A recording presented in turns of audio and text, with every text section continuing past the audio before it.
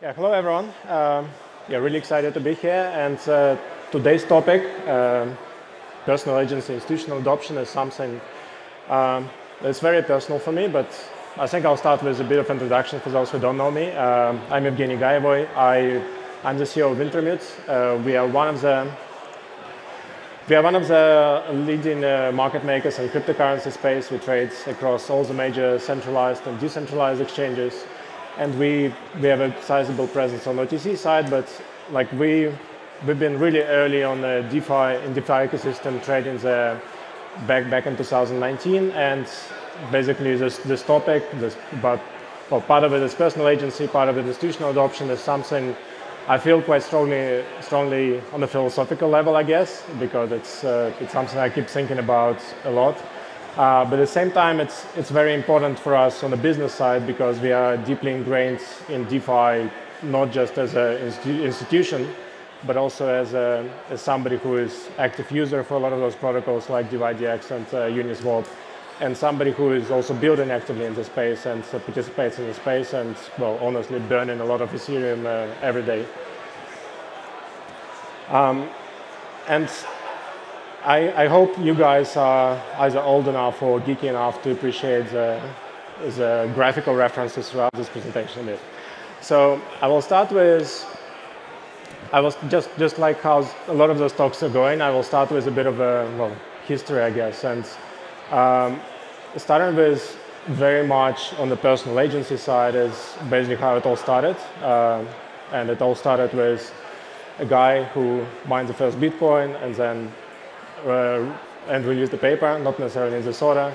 Um, and what I find what I find really interesting about is not necessarily the underpinning technology, which is on one on one hand simple, on the other hand like really actually allowing to achieve a lot of things, but actually the set of values, set of ideals that uh, that drives this technology forward. And it basically starts with personal agency, which basically means, well, being the master of your own fate. Um, and it also, that's better. Yay.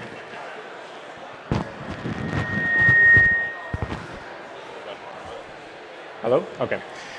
And also interestingly, it's about this concept of sovereignty. And um, what's important for me in this is like there is this concept of freedom, of course, and sovereignty is something different because freedom is ultimately freedom ultimately impacting others. Like your personal freedom is impossible without impacting and coercing sometimes others into like achieving things. Uh, while sovereignty is something else. Sovereignty is basically being independent from the outside world and being, basically being being able to not really coerce anyone to achieve anything, uh, but same, at the same time achieving your own goals. And that's, that's, I think, a very important distinction from, well, on the philosophical level, but also something that drove, well, Bitcoin uh, as a technology, as a movement uh, from early on. And while you might, might think, okay, it's just libertarianism, uh, it's like idealistic views and everything, what's the reality is like those values, those uh, like this set of ideals, it actually drove the drove how the technology was determined, how, how it was built, and this trillion dollar well market cap for Bitcoin that uh, that's again in, the, in, that range, it's it would not be impossible without without the set of ideals.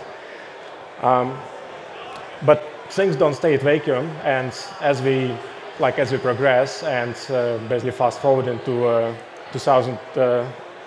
2017. Um, that, that's where that's where Wintermute started. That's where I actually started my crypto journey as well, and that's that's where we've seen a lot of tokens appearing, a lot of uh, new projects appearing. Some of them being incrementally better than Bitcoin, some of them doing something very different like Ethereum, some of them being honestly outright scams. Uh, but it, it, it, did create it, it did create a new narrative, and the narrative was about yeah, what happens when those individuals that value their like sovereignty so much, what happens when they team up? And what happens when they team up is effectively DeFi summer that we, like a lot of us experienced last, last year. And it basically brought with itself like a new set of values, new set of ideals, uh, which on one hand was much broader and somewhat contradictory to what Bitcoin was about. but on, on the other hand, it was it, it kind of built on top of it, and it was a lot about decentralizing governance. So it was about like-minded individuals getting together, building stuff together, and basically, yeah, being independent in that in that regard. It, yeah. Is this better? Oh. Feels even better. Yeah. Wow. Um, and on, on the other hand, it was like it was about co-creation. So it was about well those, those Lego building blocks uh, that Nexus mentioned in the previous in the previous conversation. It was about those building blocks that became much more powerful than uh, than they would be otherwise on its own. Like Maker Maker DAO would not be really important if we would not be able to trade DAI on uh, on Uniswap or borrow it on DYDX back in the days. And uh, but at the same time, this concept of sover sovereignty, it's kind of stayed, but it became much, much bigger because we've seen individuals grouping up in DAOs and being sovereign in their own DAO ecosystem. And we've seen the whole crypto ecosystem being very sovereign and really willing to operate on its own without, well, without like any outside control or without any outside regulation, which we will come back next uh, soon. And effectively what it what it means, and I actually skip back, it's, it's again, this, this, this, this growth and this technology would not be possible without, without, those, without those values pretty much because we would not be able to be here if, if it was driven by just, just by desire of, I don't know, greed or making money on the tokens going up, although that was definitely part of the, well, part, part of the growth, of course.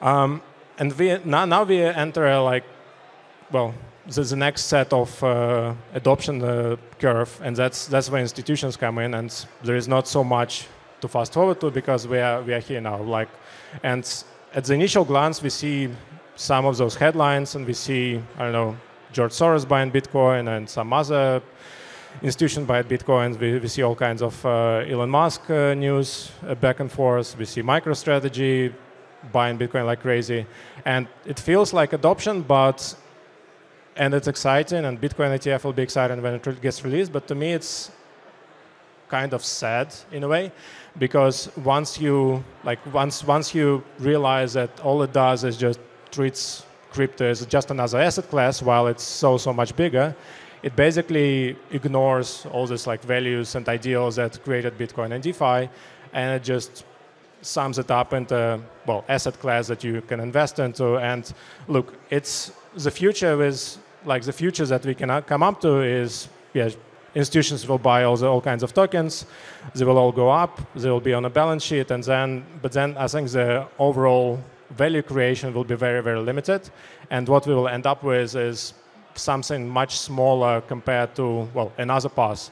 And this another pass is well I guess I guess that's that's the main thing I want to talk about actually because there is much more like on the institutional side, there is much more they can do potentially, but and it's not really in idealistic ways that yeah, go institutions do stuff for us so that we are all happy. It's actually it's actually beneficial for both institutions uh, and the space to for them to do so.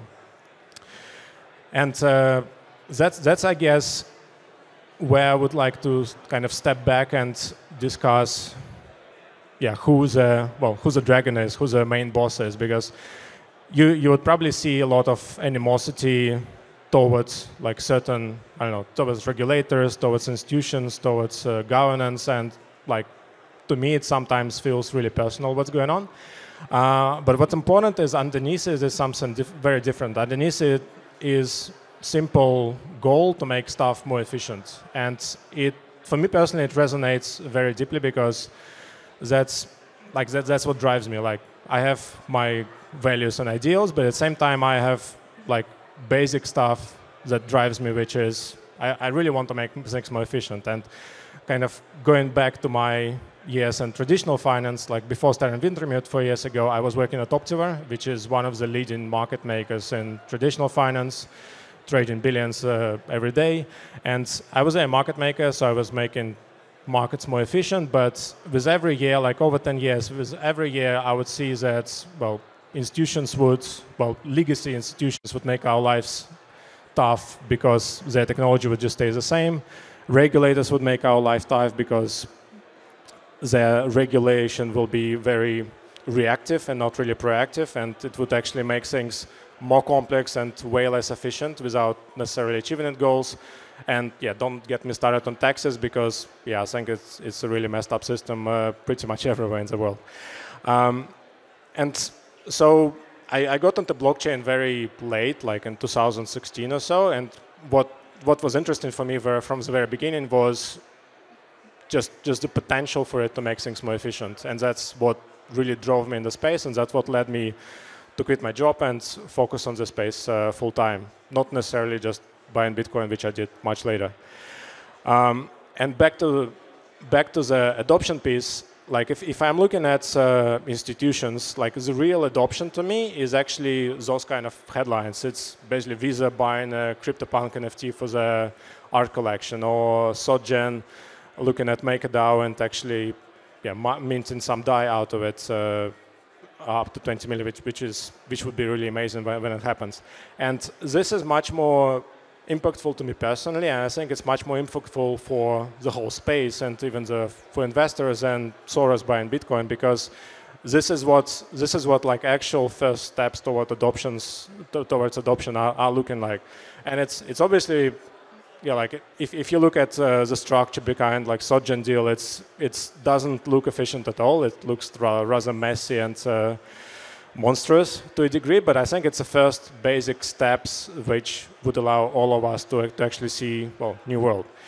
And this, this is this is about basically transi about transition from this legacy tech stack to blockchain. And don't get me wrong, like I, I love blockchain, but I don't think every, everything will move to blockchain. But we have an opportunity here to get rid of uh, get rid of uh, a lot of traditional uh, institutions like uh, clearing houses. Like this stuff should just go because it's just it's bloody inefficient.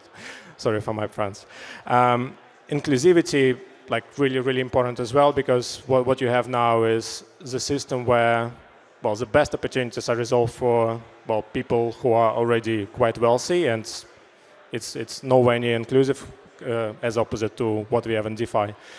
And transparency, which is like it sounds like a really good thing, but it actually yeah, driving more transparency in the traditional finance would, would bring more clients because it will just increase it would simply increase trust.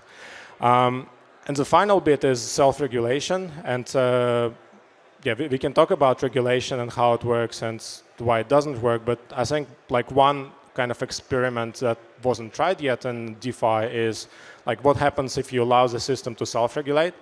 Uh, it doesn't happen that much. Like you see self-regulation, you see self-regulation on level of uh, DAOs. So you see like a lot of governance proposals being uh, proposed. You see a lot of bad actors being called out with different proposals, and that's that's all very cool. But you don't see, you don't necessarily see a lot of self-regulation. You see a lot of self-correction. You see centralized exchanges cooperating with hacking, hacker, like not not as hackers, but like with, with the guys who try try to catch those hackers.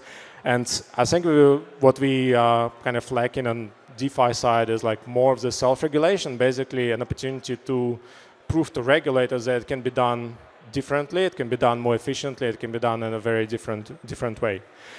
And uh, basically where we are find ourselves now is like we we can choose this first pass of just treating the Bitcoin and crypto as another asset class and see it growing from 2.3 trillion to, I don't know, 10.3 trillion, uh, or maybe less or maybe more, or we can, we can actually see it completely replacing the like integral parts of a current system, and that, that would actually mean that the institutions need to take this personal agency, or personally, and actually puts put themselves much more inside the current system and uh, try to well experiment quite honestly and try to take risks uh, because that's that's what all, all, all is about. And if you basically take the adoption and multiply it by investment you will get like much bigger pie and so you will get a much bigger slice of the pie.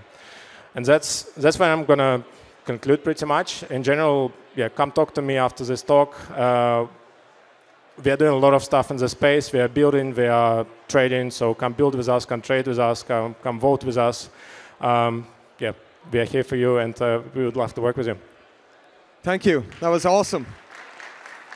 We do have a little bit of time uh, for Q&A if anybody has any questions for you. Um, we're more than happy to ask anything that you want. Put your hand up, let us see you. Oh, all very quiet today, huh? Um, where can people find out more about Wintermute and how is it, uh, what's the best place to find out more stuff on you as well?